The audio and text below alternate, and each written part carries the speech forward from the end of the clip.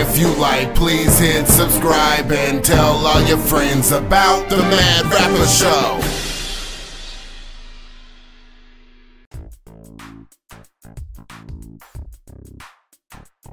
You guys might be wondering why I'm sitting here with this smug look on my face. I don't know. Maybe it's because it's Thanksgiving. Now, I should be exuberantly happy today because I'm fat, uh, but I'm not. Once again, I am mad. You might ask, Madd Rapper, why are you mad? Why is it that people always wait to right around a couple days before Thanksgiving to start telling us the truth about Thanksgiving? I mean, we had all year to learn about how the pilgrims came and, and raped the Indians and, then stole their shit. Why are you telling me two, three days trying to fuck up my meal? I mean, I just feel like people should get information all year long about shit that's fucked up. I don't know why now, two, three days before and the day of, I gotta wake up to niggas talking about, hey, madd rapper, don't go eat Thanksgiving dinner. And I'm like, why? Be- because it ain't really right. The, the pilgrims, they, they stole, they killed, they murdered. I'm like, so motherfucker? People been killed and murdered all through history.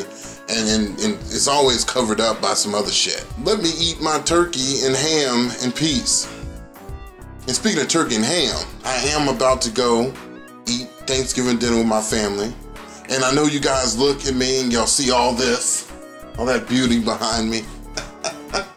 Looks like I'm in a mansion in heaven, don't it? But I wouldn't be nothing without my family. So, some of you guys that are lucky enough to have a family, make sure you drive safe and go to your family and eat Thanksgiving dinner or Thanksgiving lunch, uh, whatever you do. And for the rest of you guys that have burnt all your bridges and are black sheeps, well, go fuck yourself. That's so fucked up. Why would I say that? Oh fuck, that's so fucked up.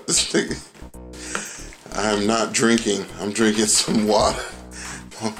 I shouldn't be that happy. Whether you agree with me or you don't, comment down below and let me know. I'm the Madd Rapper, and I'm out. I'm the Madd Rapper, I speak the truth, I let it flow. If you got an opinion, comment below and let me know. If you like, please hit subscribe and tell all your friends about the Madd Rapper Show.